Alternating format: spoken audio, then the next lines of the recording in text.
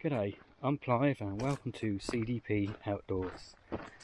Back out on the Bibbulmun track and we're heading to the Mount Cooke shelter. So let's go and have a look around. Look at that, Mount Cooke shelter. That's one of the old wooden shelters which I prefer. And this one sleeps, I believe, between 12 and 15 people at a squeeze. The old bunk beds, top and bottom. Same on the other side, the bunk beds. And then the platform across the bottom for you to lay your sleep mat and your sleep bag on. There's your boxes with your uh, register in there. So as you're walking on the Bibbulmun track, always remember to sign in the book saying where you come from where you're going and how long you're going to be just in case anything happens. Because then they can check the shelters and the shelters that you signed in and then to the one that you haven't they know that you'll be roughly in between there. But they're nice and clean shelter this one. And the majority of them on the Bibbulmun track are.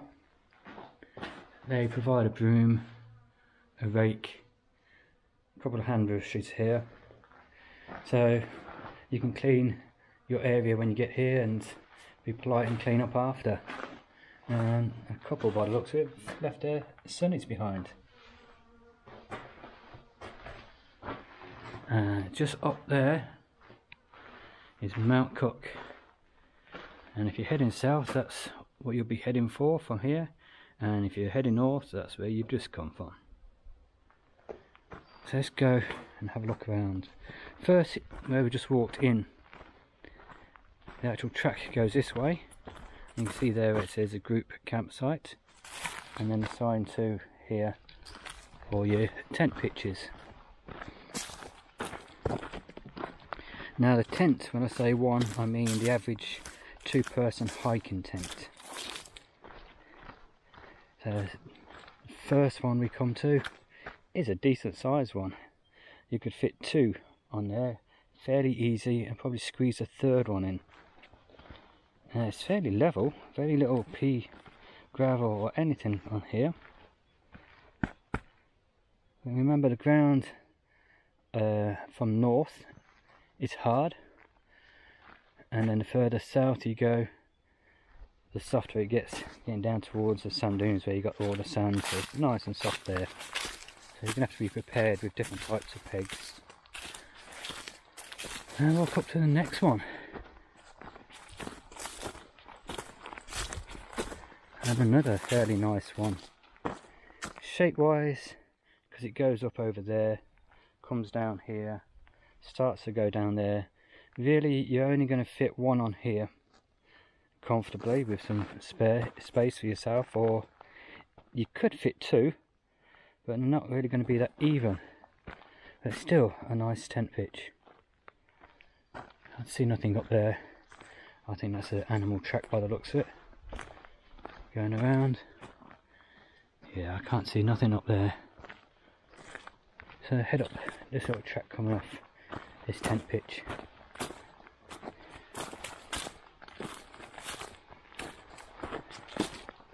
Heading back uphill.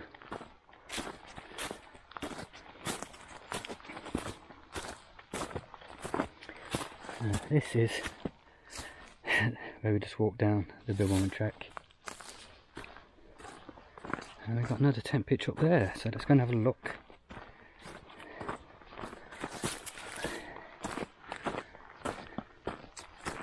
Now this, all around the area is uneven until you get to the actual tent pitch itself.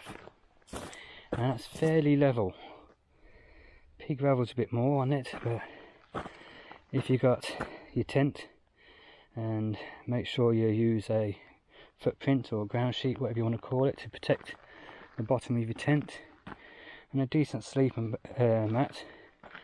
Most of these small stones you won't feel just kick the big ones out of the way.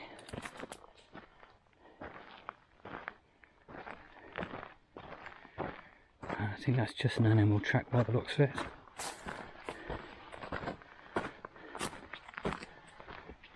Let's have a look. Yeah, it's getting tenser. No, just an animal track this bit coming off that.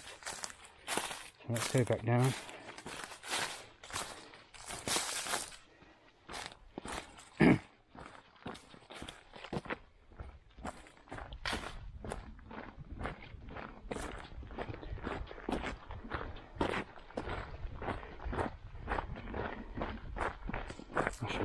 My pole with me, I left it at the shelter. I think the rest are fairly level. Okay, we've got a little track coming off this way. Let's go and have a look.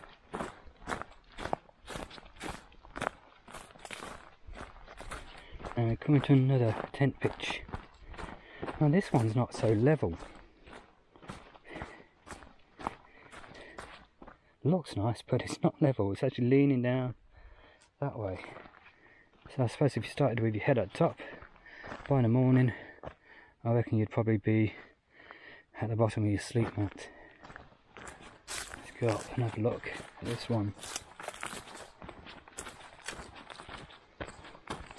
This one's not so bad. Slight lean to it, unevenness to it, a bit of a hill bit, but all in all, not too bad. Size wise, the area is big enough for maybe squeeze three tents on there, but really one comfortably to find a level spot, which I think would be just about there-ish over the far side, because it really comes down steep here. There's another track there, which I think will probably go down to more tent pitches. But before we do that, we'll go around the long way. That may take us to the same tent pitch. Or it may just take us back down to the track.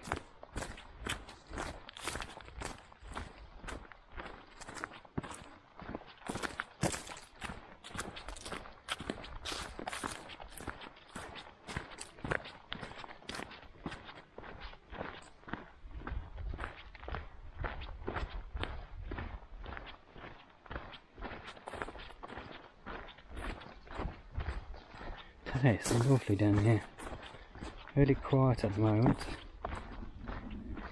If I stop, only just hear some traffic in the distance on the Albany Highway, which I believe is that direction coming down. Yep.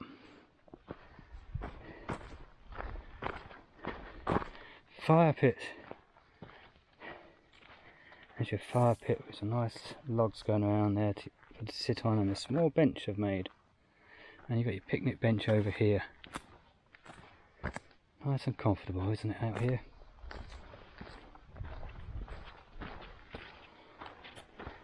Next, with its own long bench. This is a nice one. A bit close to the track there, but all in all, it's really nice. Level, flat, no rocks on it, no pea gravel, just like a sand on a fairly hard base. And the evidence there, the kangaroos clawing and hopping through.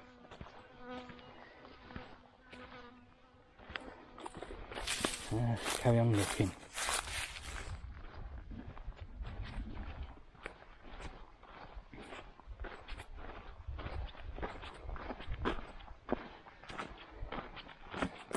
I'll come back to that side on our way back down. And pointing here for more tent pitches. Is that the one? Yeah, that goes up to the one I mentioned. And so we'll go back the way and then have a look at this. But yeah, this one goes back up there. And then we've got a couple of tracks coming off. Let's go and have a look.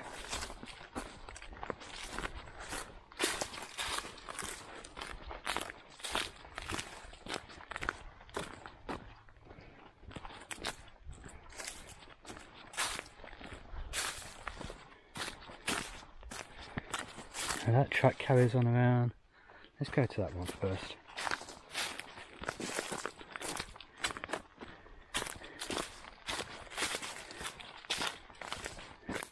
Yeah, It's about the bumpiest one I've seen.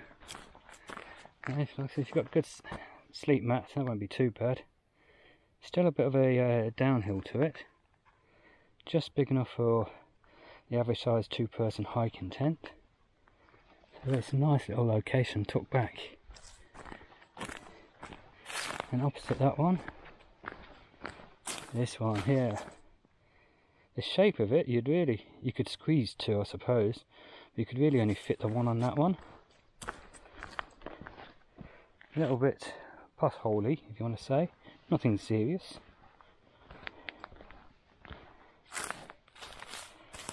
But decent enough, like a decent sleep mat, having be no trouble. And even on these ones, always use a footprint to your tent to protect it. And another one here.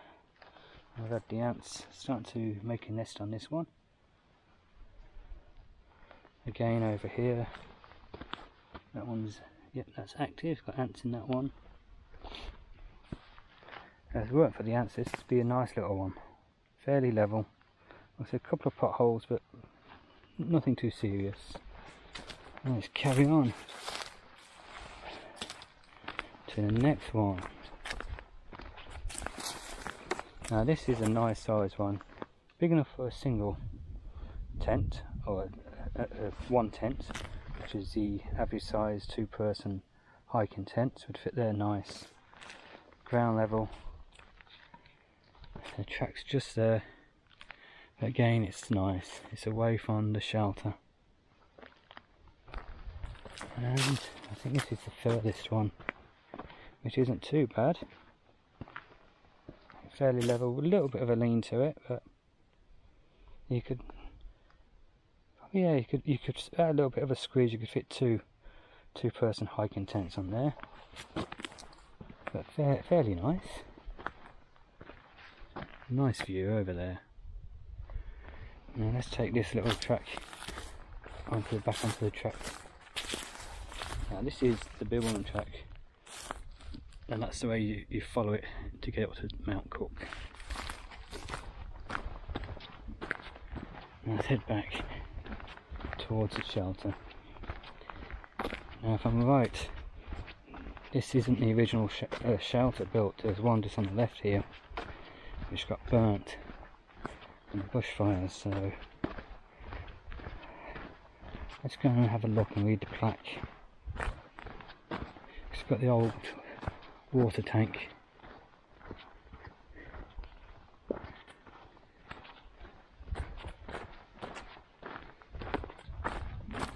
Oh, I just found a spider web. Anybody walking through there, you're welcome. It's gone.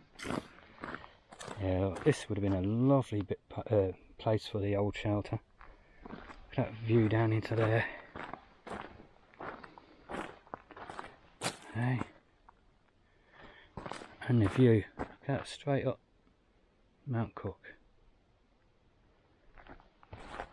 Let's have a quick read, what's it say?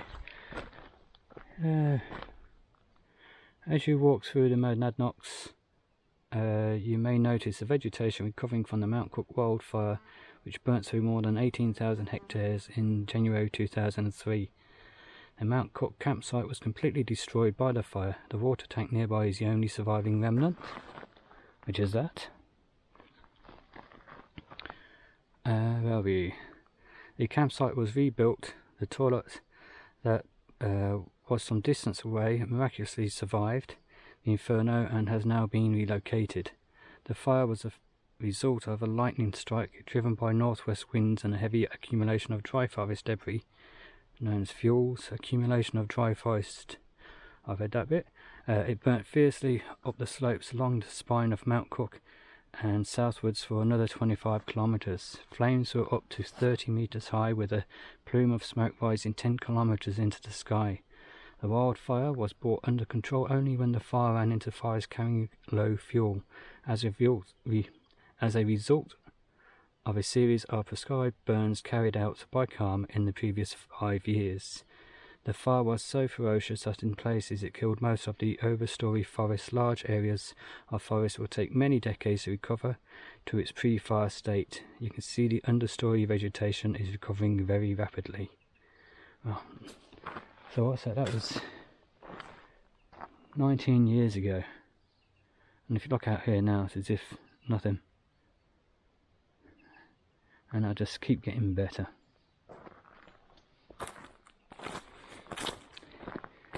I suppose if you wanted to, you could pitch a tent here. There's a lot of stones and pea gravel, but you could pitch a few tents here if you wanted to. Let's go back and grab my walking pole. Now the toilets at the shelters, they're not flushing toilets. They're not connected to mains water. They are composting toilets, also known as long drops. And this one is back past the shelter, but not as far as the Whalley one from the shelter.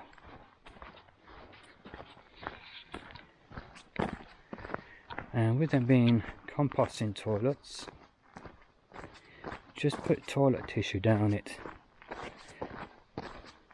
Wet wipes are no-no because if you use wet wipes the chemicals and everything in the wet wipes and the material doesn't compose and it destroys the compost. No chemicals because that will destroy the composting and you'll end up with maggots and flies and smells coming out of there.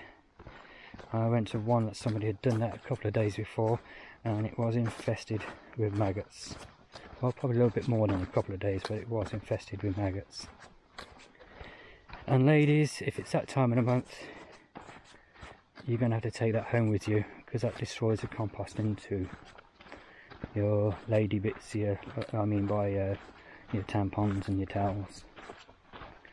So this is the toilet. Your dunny also known as. And that's all it is. It's a lid with a seat and a long drop toilet below. Now there is toilet roll in this shelf at the moment. Toilet roll is not necessarily uh, provided so remember carry your own. But imagine sitting in the morning if there's nobody else have the door open and that's your loo with a view. Hey how beautiful. Now remember last time I was here overnighting I did that early in the morning so I set off when it was still dark with the door open and I had a few visitors of kangaroos. They hopped by and then came back and just sat there looking at me. Like you buggers okay that was Mount Cooke shelter it's a really nice location a lot of people get dropped off on the highway walk in here spend the night and take a walk up Mount Cooke and back down. Other people actually park and walk from Sullivan's Rock up the top of Mount Cooke, have a picnic, have a lovely time up there, and then they walk all the way back over Sullivan's Rock and back to the car. I think staying the night at the shelter sounds better to me. So I hope you've enjoyed the video and if you have and you're not already a subscriber oh talking to kangaroos there's one hopping off up there if you're not already a subscriber please go down below and click on the subscribe button click on the notification bell and select all so you can be notified of all future videos. And if you are already a subscriber again I thank you very much. So until next time get out there have some fun and take care